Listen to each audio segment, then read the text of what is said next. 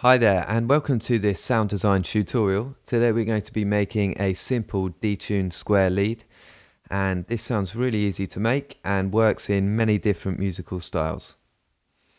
Okay so for the tutorial I've already made a pattern of notes so what I'm going to do is just pop that up on the screen now and you can copy that into your piano roll.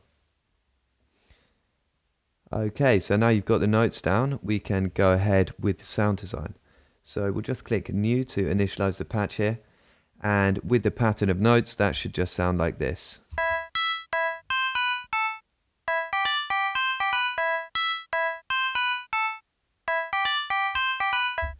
Okay, so first of all, we're going to go into our settings panel here. And we know this is going to be a monophonic synth, so we turn this down to 1 and we want to turn legato on as well so any overlapping notes blend between each other. And now going into our oscillator section here, in slot 1 we're going to insert a square wave oscillator.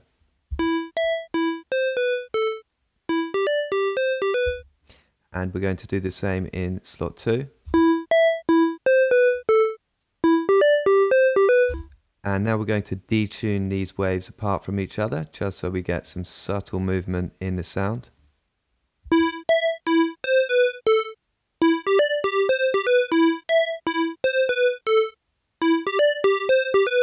And now in slot 3, we're going to insert another square wave oscillator.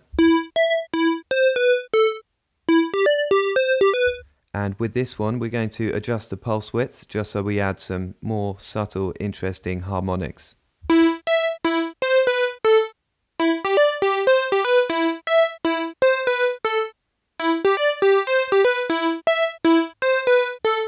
And we're going to turn down the level of oscillator 3 in the mixer panel here, just so that is a bit more subtle.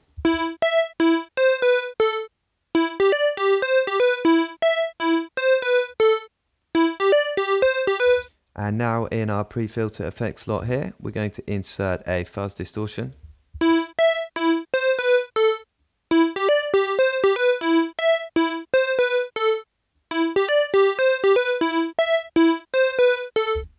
Okay, and now going into our filter here, we're going to push up the resonance just so we can capture some of those really nice high frequencies.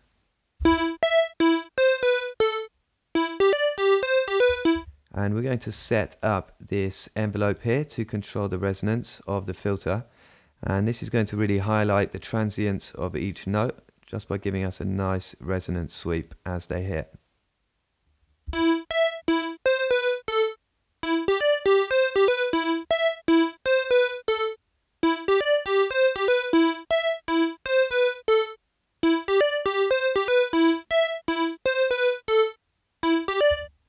Okay, and now we're going to add some pitch modulation to this sound. So we turn on this LFO here, and then we apply that to the coarse tuning of oscillator 1 and oscillator 2. I'm going to turn the level right down so that this is really subtle. And then we'll turn the rate up a bit and turn on sync and retrig.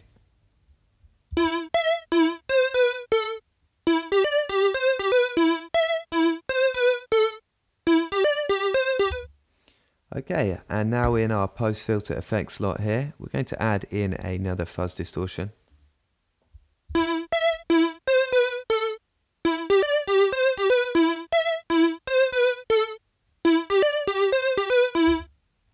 And now going into our effect slot, in slot number one, we're going to insert a tube distortion.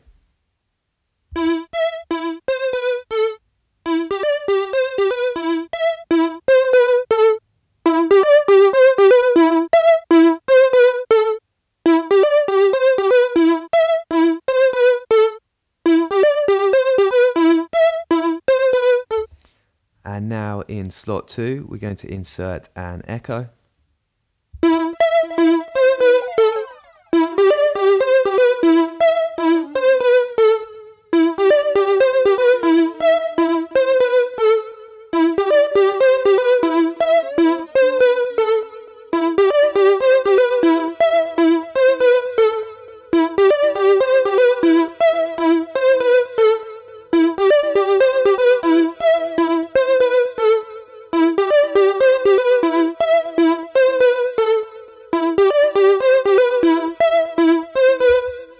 Then finally in effect slot 3 we're going to add a reverb.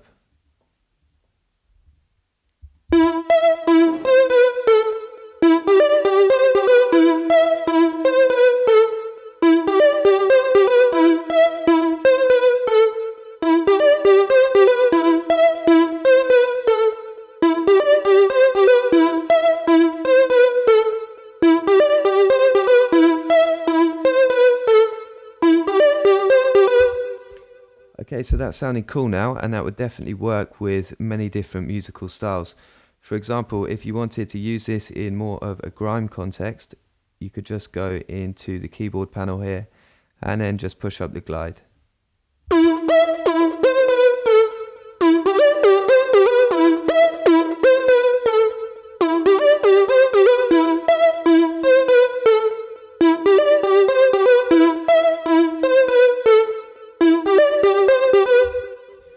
Okay, so I hope you've enjoyed the tutorial today and you can download the patch we've just made in the video description below.